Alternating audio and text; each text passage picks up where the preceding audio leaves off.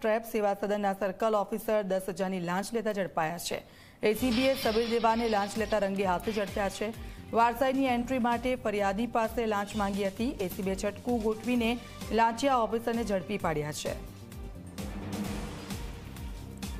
તો સેવા સદનના સર્કલ ઓફિસરે દસ હજારની લાંચ માંગી હતી.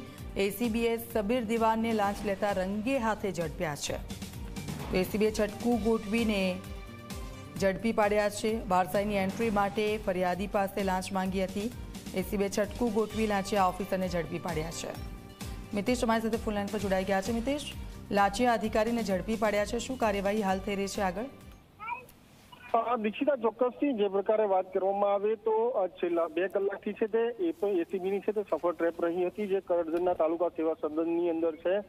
તે આ લાંચો અધિકારી છે તે તેના દ્વારા છે તે સર્કલ ઓફિસર સબીર દિવાન દ્વારા દસ હજાર રૂપિયાની લાંચ લેવામાં આવી હતી.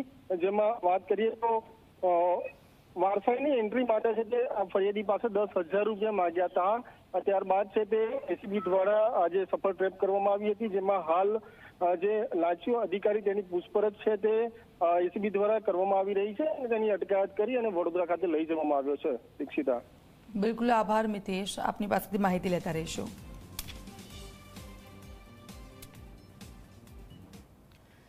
તો આ સાથે બુલેટિનમાં હાલ બસ આટલું. દેશ દુનિયાની અપડેટ્સ